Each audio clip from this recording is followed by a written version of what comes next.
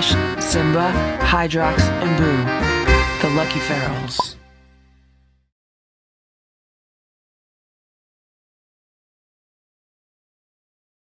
Good morning, Stella.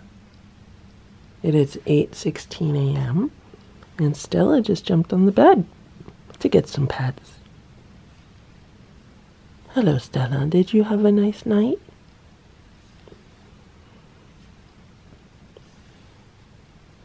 Want to say hello? Stella says hello. Good morning, Splash. Good morning, Simba. Simba jumped on the bed this morning. I've given him a lot of pets already. And yesterday, I took the runner off of the top of the shelf and um, it's in the wash. Um, I washed this along with the uh, covering that I use for the cat carrier and um, a few of the other uh, cat blankets that were in the cat tower. I just wanted to uh, put all that in the wash and then I put them in the dryer and they still weren't dry um, by the time I was going to bed yesterday. So um, I ran them in the dryer again. Hopefully they're dry this morning. Good morning Boo. So Boo slept on the bed all night and I did not notice him getting up at all so I think he slept straight through the night he has not been running to the litter box every 10 minutes. I mean, other than using it yesterday, I haven't seen him use it again yet. He is still under observation, and he will be under observation all day today. It's kind of good that this happened when it did because I uh, do have two straight days that I could stay home and watch him. It's unfortunate I had to cancel my trip, but um, Boo's more important, right, Boo? It is 8.30 a.m. and I am preparing Boo a little snack. It's basically just a little bit of chicken baby food with three drops of these kidney and bladder herbs um, mixed in there for him. He's been he's been on these herbs for a few days now, so um, gonna continue that. Eat your treat, Boo. I have to keep Stella and Simba away from this.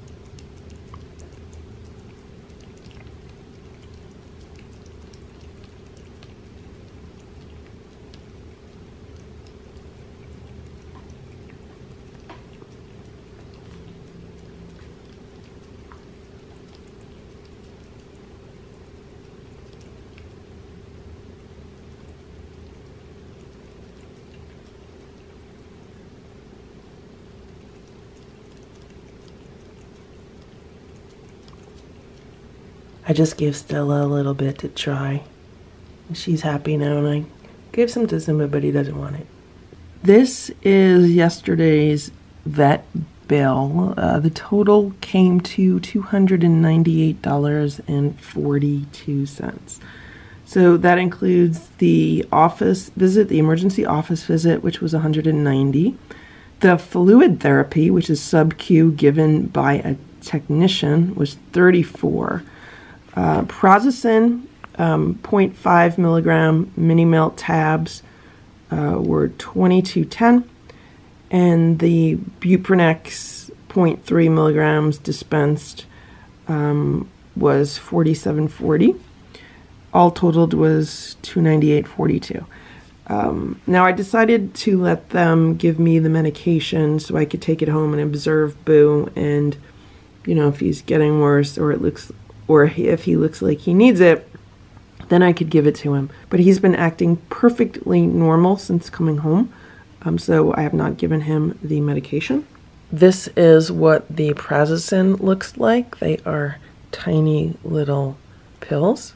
And this is what the Buprenex looks like. Um, they are syringes. And for the syringes, uh, it says keep it away from light, so they give it to you in this dark packaging.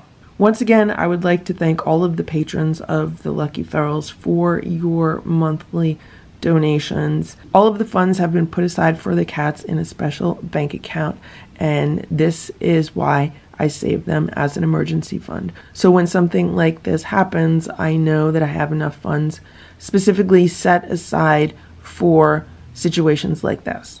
And here's Boo. So with all these little blankets out, we had a bit of a slumber party last night. I was laying here watching TV and I put these out for the cats and Boo's hanging out with me and Simba's hanging out.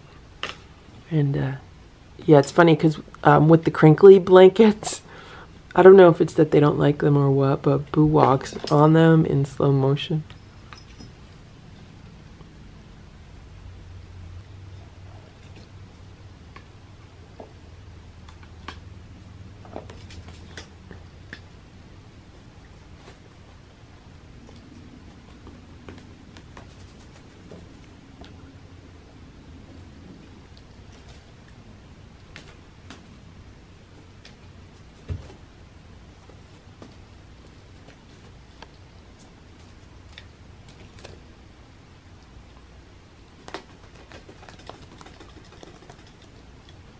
Look where Boo's sitting.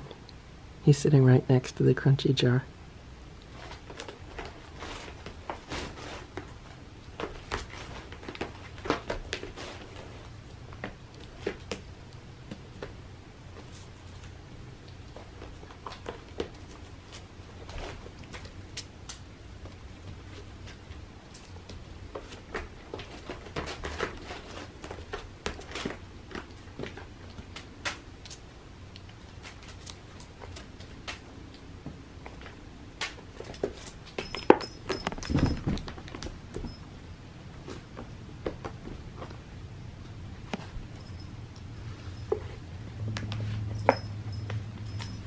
For breakfast today, the cats are having homemade raw food with homemade chicken broth mixed in. They're having a drizzle of baby food mixed with homemade chicken broth over the top. They're having one of the Nature's Variety Instinct raw chicken bites crumbled on top of their food, and they are each having a handful of crunchies. What's the matter, Boo? Sometimes Boo likes to eat on his own. He and Simba got into a little bit of a squabble before I fed them the food today. And he and Splash sometimes, you know, have issues. Boo has a bit of an attitude sometimes. Like, he feels like he's superior to the other cats. And, you know, that's not good. But he does get a lot of one on one attention from me. Um, you know, because he doesn't have the same interaction as the other cats have with each other and because he is currently under observation, so he's been a bit spoiled yesterday, and I have to observe him again today, so looks like I'm staying home all day.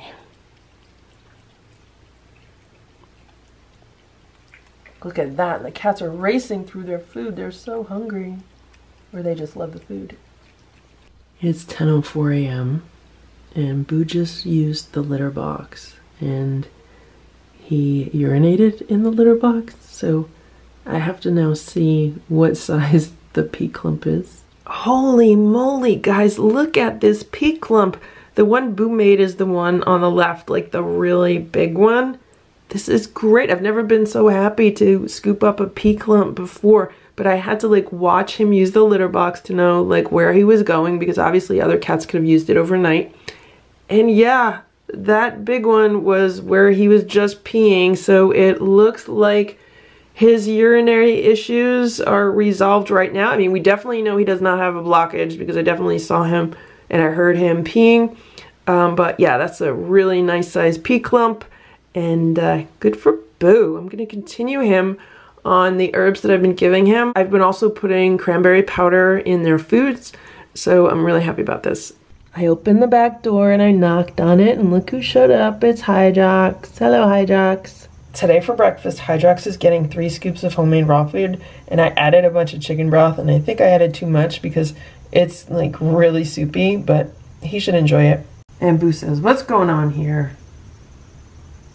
I just put the food outside right here for Hydrox, and he was approaching it very slowly. And it looked like he was like looking, is anyone around? And then just when he was about to get to it, he like ran away. So um, he didn't even taste it, didn't even really get close to it. I don't know if he thought like another animal was gonna come after him. I don't know. Hydrox, you want breakfast or what? Go get your food. I moved it to the other side of the patio. Okay? Go get it. Go get it, Hydrox. You could get it. Okay, I just put it here, like, near the chairs so he could see it. This is in his line of sight, so hopefully he'll come down and eat it. I have a box of tissues that I was just about to throw away because I used the last tissue. And I realized that the opening on top is like the perfect size for a cat's paw. So um, there's usually plastic on the top with just like a slit for tissues. So I cut the plastic out and I put a few of these freeze dried treats in there. And I gave it to the cats, and Simba and Stella are busy trying to figure it out, which is good, which is what I want. You know, even though they have several uh, toys that feed them treats that I, you know, sometimes rotate in. In the summer, it's hard to use anything that feeds treats because of the ant issue. And to keep ants out of the house, you know, you can't really leave any food lying around. And when you put dry food in these treat feeders, if the cat doesn't eat it right away, then it can attract bugs. So uh, even though they have several uh, treat feeders, sometimes it's good to just, you know, give them something different uh, to keep their brains active. Uh, you know, something new to figure out, something new to play with, even if it's just something small and disposable like this one. So they'll sit here for a while and try to figure it out. Maybe they'll get the treats out, maybe they won't. I don't know, we'll see.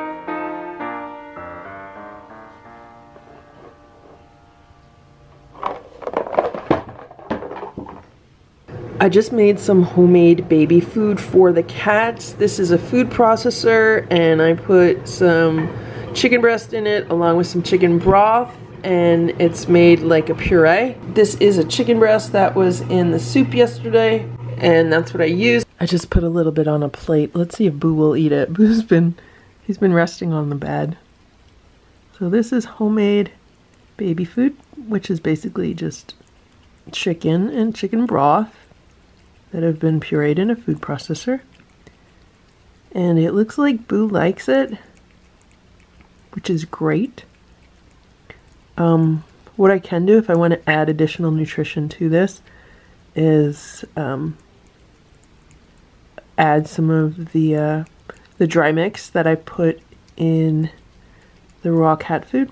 But to me, I, I think this would be a good replacement um, for the baby food that I buy.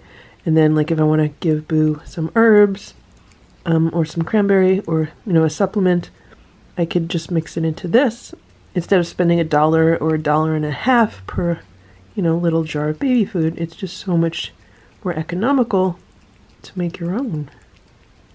And Boo likes it. I think this has Boo's seal of approval. There you go, Boo.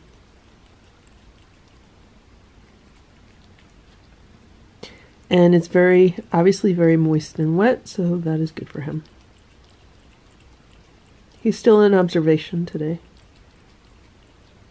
And in rest and relaxation mode. Okay, Boo, good job. Good job. Let's see if Stella will eat it. Will Stella like it? She should.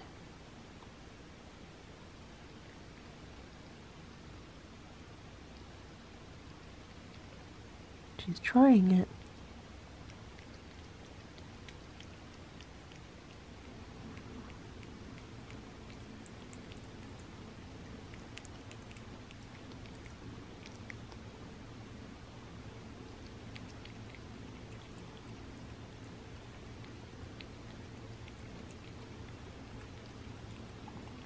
It's very good, Stella.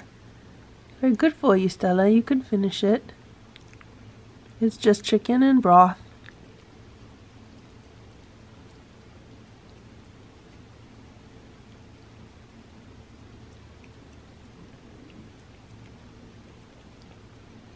So what I want to do with this, it's okay still, let's move it around.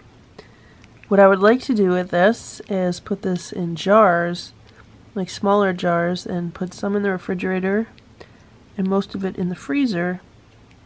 So that way I'll have it. And, you know, once again, this is not a complete meal for a cat. It does not have complete nutrition because it's just some breast meat or some drumstick meat with chicken broth. Um, but it is a nice little snack or a topping or a treat. And um, if I add more nutrition to it, it would be more more like a complete meal, but I only want to use it as a like a snack or a treat or a topping. And once again, only do this with uh, meat and broth that is not loaded up with salt and pepper and um, spices and you know things that cats don't like. When I made the soup, it was really only chicken with one carrot and one stalk of celery and water.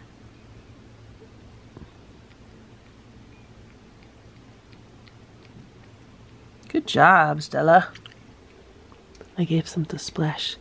It looks like Splash likes it too. I think the reason why Splash eats so fast is because he has a really wide tongue.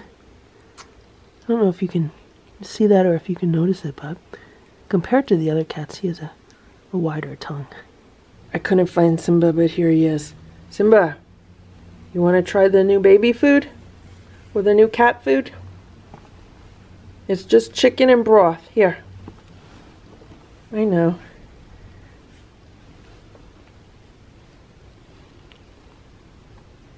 You want to try it? Everyone else likes it. Are you going to like it?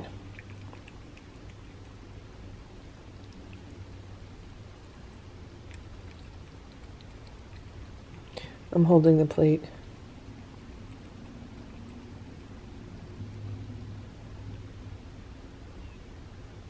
Simba.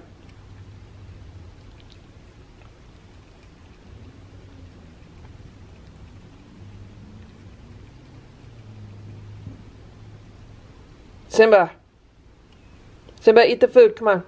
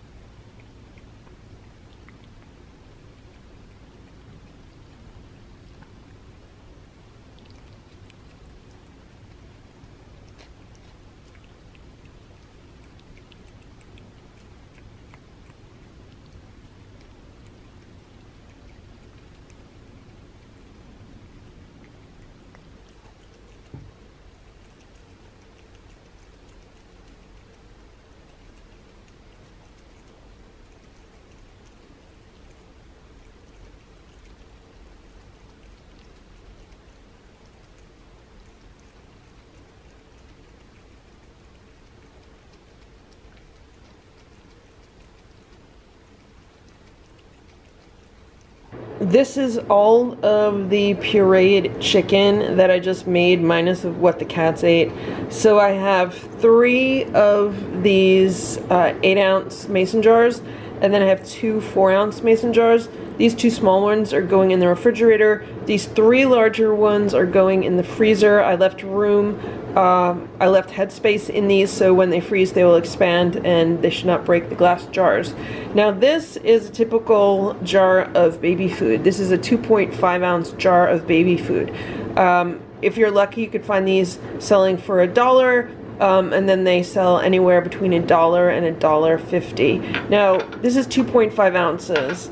Four ounces, four ounces, so this is eight ounces. So this is like three these two are basically the, the equivalent of like three of these and we and these are eight ounces each so let's just say they're the equivalent of three of these.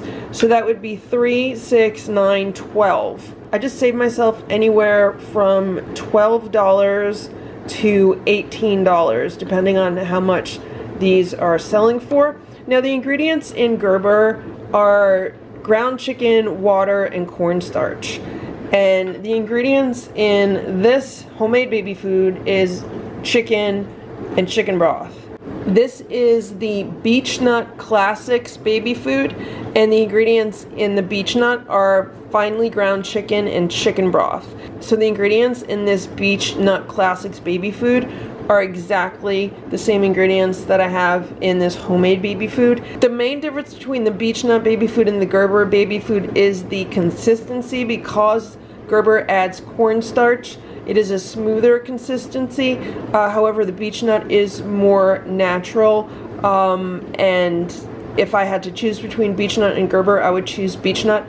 Uh, unfortunately, around here, it's harder to find in the stores. But my top choice would be to make homemade because it was super easy and super cheap. It's 1.05 p.m. and Boo and I were laying on the bed watching the Brady Bunch. And he's going to take a nap. And I'm going to go out and run a few errands. And he's still under observation, but while he's resting, I'm going to get a few things done. Okay, Boo? Okay. You be comfortable. You rest. You be comfortable, just rest, okay? Okay. It's 5:21 p.m. and I'm cooking in the kitchen because I have another one of those giant squashes that I need to make something with. And Stella's laying by the back door.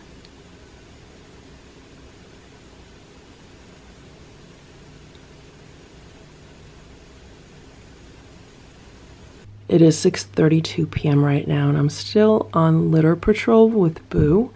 Um, he just used the litter box. I'm going to scoop it out to see, uh, you know, what's going on there. Right, Boo? How you doing, Boo?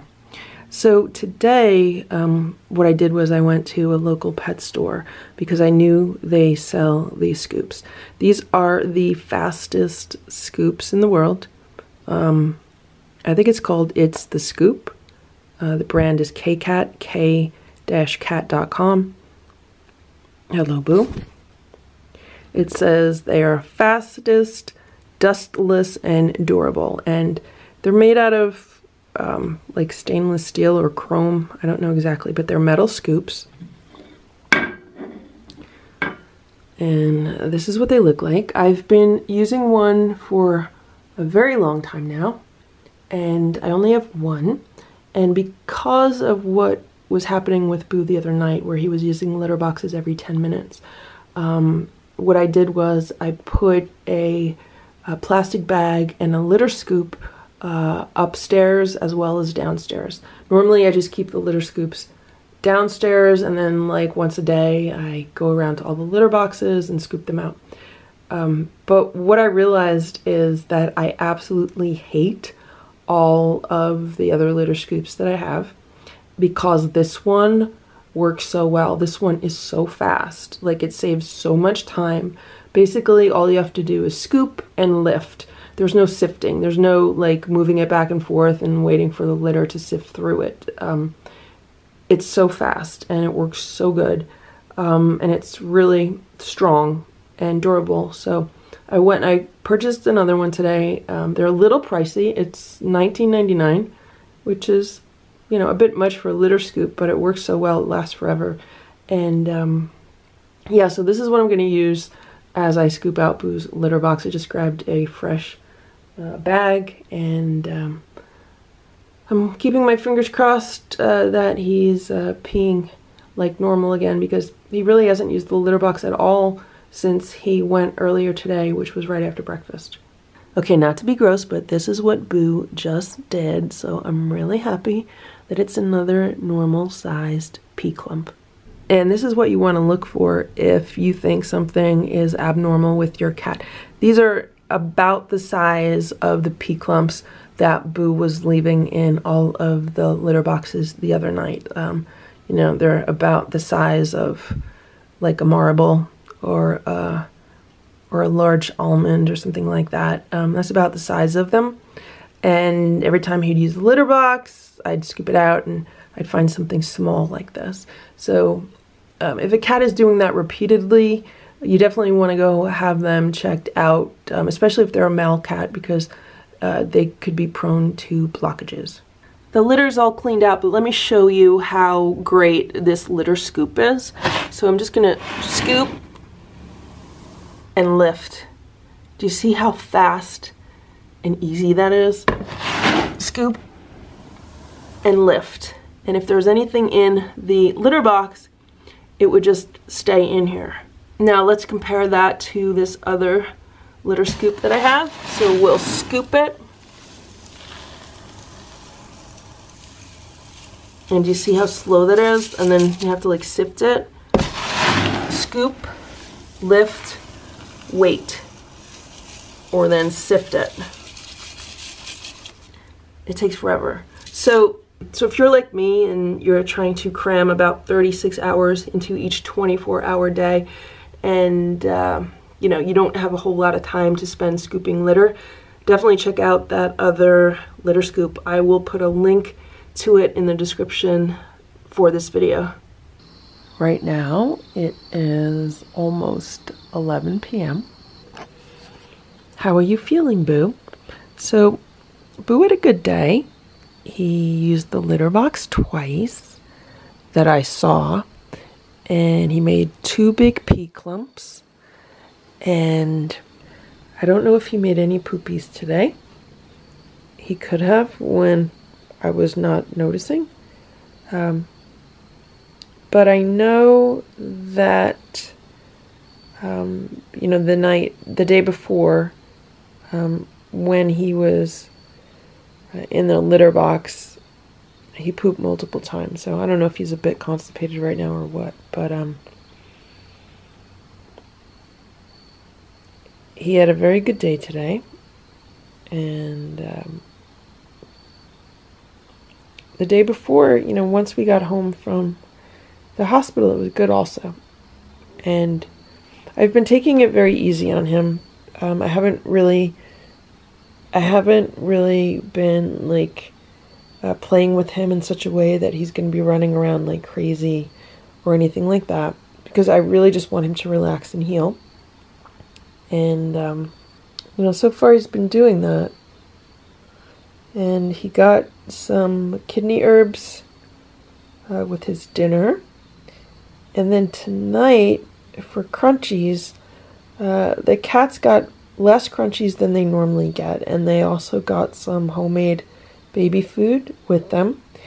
And um, I put a little bit of CBD oil in the baby food. So I used seven drops, which is like nothing. Yesterday, I gave them each seven drops individually. And today, I put seven drops in the um, container of baby food that I then split up uh, four ways. So they got a much lower quantity of it.